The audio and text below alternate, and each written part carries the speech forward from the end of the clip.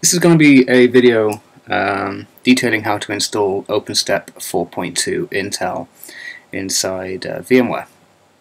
Now this um, is obviously going to be VMware Fusion 3 on a MacBook, um, but it should work precisely the same uh, for VMware on other platforms as well. If you are using um, any other kind of virtualization software, then uh, your mileage may vary, but the instructions should be about the same. Okay, so first off, we're going to start by creating a new virtual machine.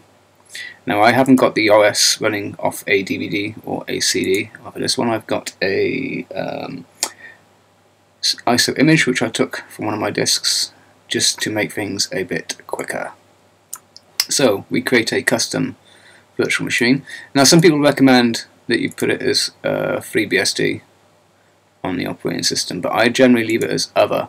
The reason being is sometimes if you set it to FreeBSD, um, the VMware network driver won't load up.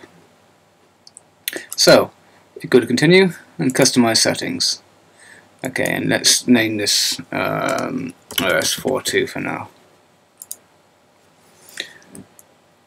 Okay, so several important things. First things first, uh, hard disks.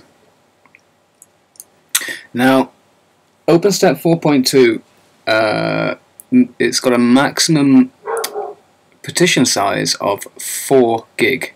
Now you can use a larger disk, but it has to be split into 4 gigabytes uh, partitions.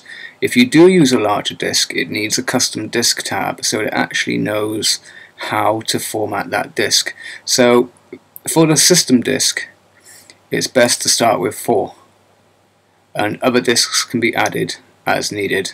Um, or if you don't want to uh, play with disk tab, if your knowledge of BSD isn't good enough, um, you can add, um, you know, just four disks, um, three disks at four gig each.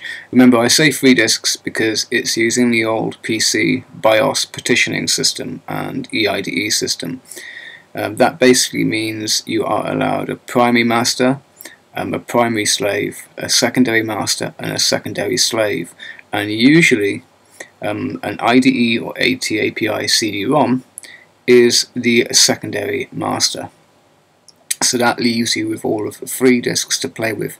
Now you can, if you've got the relevant drivers and you know um, that OpenStep supports them, if your virtualization software uses SCSI, you could add SCSI disks. But I know that um, VMware is using a BusLogic um, LSI and OpenStep does not do that particular bus logic. It'll just sit there uh, trying to bring up a SCSI disk and it won't get very far. Now I'm going to drop this to 2 gig because I've already got an OpenStep installation and I'm just doing this as a demo. So you can uh, split it into 2 gig files if you want to. Um, in this case, since it is 2 gig, I feel that leaving this option um, enabled is a bit of, well, it's pointless really. But the one thing you do want to do is to pre-allocate the disk space. Okay, so I'm just going to apply this now and it will go and create the disk.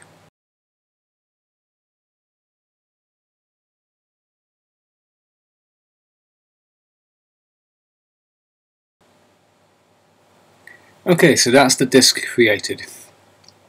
Next thing is the memory. Given the fact that NextStep and OpenStep were designed for machines from literally 20 years ago, where the minimum machine had 16 meg and the newer machines had 32 meg, um, you generally don't need gobs and gobs of memory. It will be wasted. So for virtual machines, it's generally the best to set it to 128.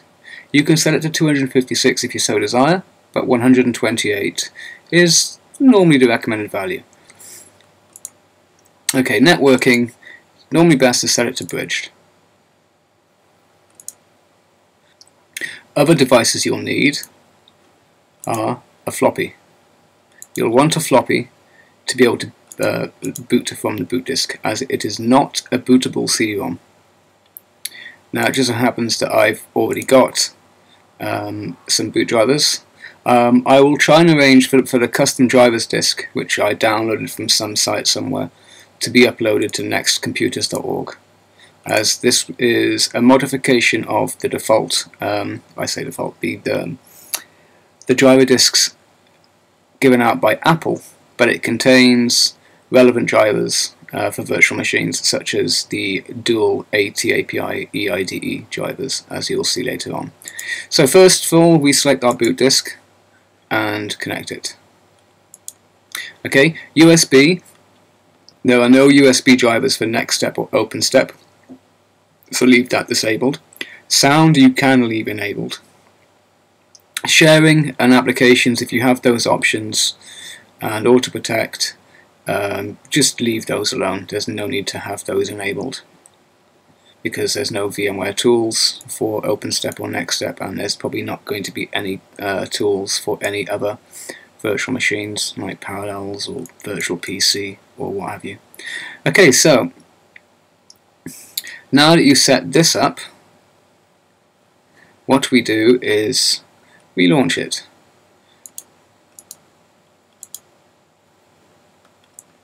So just start it up.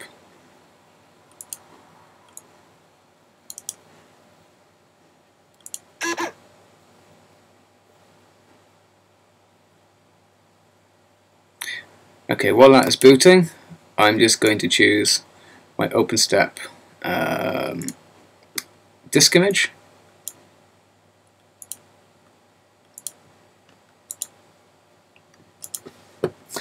Okay, so it's now at the bootloader. So obviously at this stage you will use the option that's relevant for the language that you're installing it for and again you'll want to prepare the disk. Okay, so now what we do is we choose the custom drivers disk. So I'm just going to go right down here into virtual machines where I've got my disk images.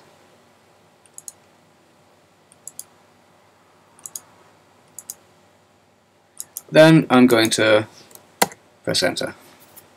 Okay, so the way this works is because um, Next envisaged that um, CD-ROMs and disks might be of different types for Intel, there's basically two loaders, uh, two drivers that are loaded in.